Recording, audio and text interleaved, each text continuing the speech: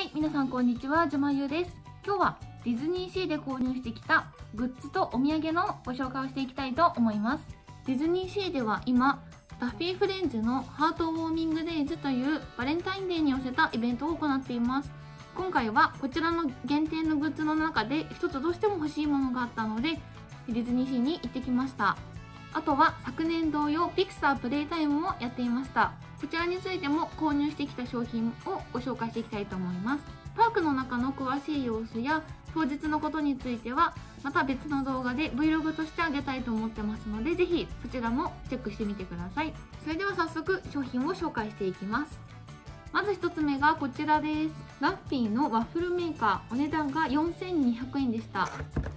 こんな感じのダッフィーちゃんの模様のワッフルが焼けるものでネットでこちらの商品が発売されるっていうのを見た時にえ絶対欲しいなと思って実際に今回行って購入してきました。開けてみるとこんな感じです。私の手のひらとだいたい同じくらいの大きさです。ここにあるストッパーを外すと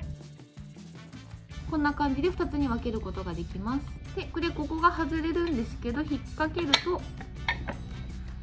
こうして簡単に閉じることができます。こちらについてはまた別の動画で実際に作ってる様子をアップしたいと思います。続いての商品がこちらです。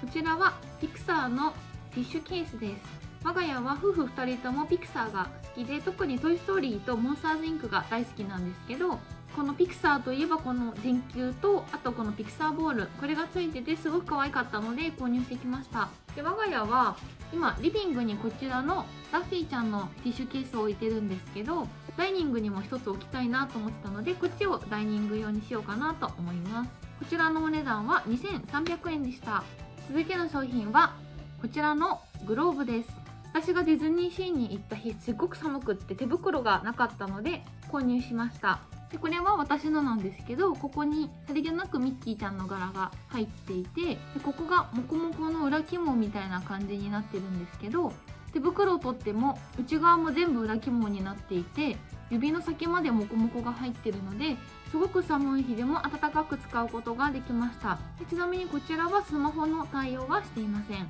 こっちが主人が購入した方のグローブなんですけどこっちもミッキーちゃんが入っていてでこちらは特に裏側紐とかはないので本当に毛糸で編まれてるだけっていうタイプです。こちらは一応スマホ対応って書いてあったんですけど私が試しても主人が試しても全然スマホに反応しなくって後から気づいたので特に店員さんに確認とかはできなかったんですけどもし購入を検討している方で絶対スマホ対応の手袋がいいなと思っている方はちょっとお店の方でぜひ購入する前に確認をしてもらいたいなと思います。でお値段なんですけどこれ2つ一緒に買ってしまってレシートにグローブとしか書いてないのでどっちがどっちの値段か分からなくなっちゃったんですけど2700円と2800円でした。続いてはこちらのクッキーあんちゃんのぬいぐるみです。これは私が欲しかったわけではなくて実家の妹にディズニーシーに行く予定がしばらくないから買ってきてほしいと言われて代わりに購入してきました。こちらの帽子はゴムでついているので取ることもできます。でクッキーアンちゃんのグッズはまだやっぱり種類がそんなになくってぬいぐるみもサイズは私が見た限りはこのダッフィーとかシェリーメイでも一番メジャーな3000円くらいのサイズだけでした。お値段が4000円でした。続いての商品がこちらのマドレーヌの詰め合わせです。クッキーアンちゃんとダッフィーフレンズのお友達がお菓子を作っている缶になっていて中にダッフィー型のチョコレート味シェリーメイ型のクランベリージェラトーニ型のグリーンアップルステラルー型のアップルティークッキーあん型のメープル全部2個ずつで合計10個のマドレーヌが入っている商品です。こちらは自分用ではなくてお世話になった方に贈り物をしたいなと思ってたので購入してきました。この側面もお菓子の柄がついていてすごく可愛い商品になっています。で缶の表面なんですけどところどころちょっとポコッと膨らんでいて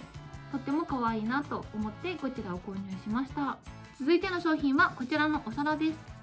プラスチックの商品でディズニーランドでよくワッフルを買うと入ってる紙皿っぽくなってるプラスチックのお皿です。お値段が1枚1000円でいつも可愛いなと思って欲しいなと思ってたんですけど何に使うか思いつかなかったので買うのを我慢してたんですけど今回先ほどご紹介したダッフィーワッフルをのせるのにちょうどいいなと思って購入してきました。で私と主人の分2枚購入しています。ラッフィーワッフルを作る時はこちらに盛り付けてまた動画でご紹介していきたいと思います。続いての商品がちらです。こちらはバレンタインデー限定だと思うんですが12個チョコレートが入っている詰め合わせでお値段が1100円でした。こちらは実家の父親にバレンタインデーとしてプレゼントしようと思って購入してきたので中がお見せできないんですけどお土産屋さんに置いてあったサンプルの画像をこちらに貼っておきますのでもしよかったら見てみてください。中にミッキーの形だったりいろんな形のチョコレートが入っていてすごく可愛かったです。でこちらのバレンタインデーグッズの商品を購入すると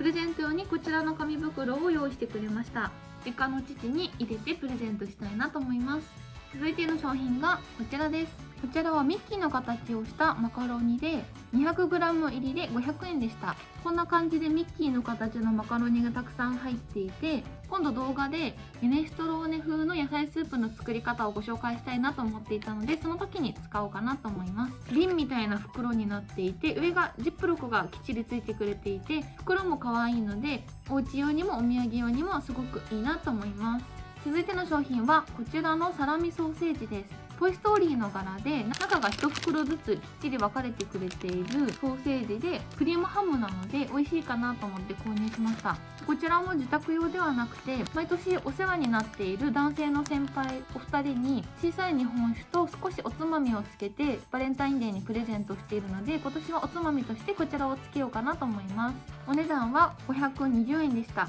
はい以上が今回購入してきた商品です。今回はすごく可愛いものがたくさんあったのでついいっぱい買ってきてしまいました。ハートウォーミングデイズもピクサープレイタイムもファンからしたら本当にたまらないイベントだなと思ったのでぜひ気になった方はディズニーシーに足を運んでみてください。それでは最後までご視聴いただきましてありがとうございました。この動画がいいなと思ったらグッドボタンとチャンネル登録をお願いします。バイバーイ。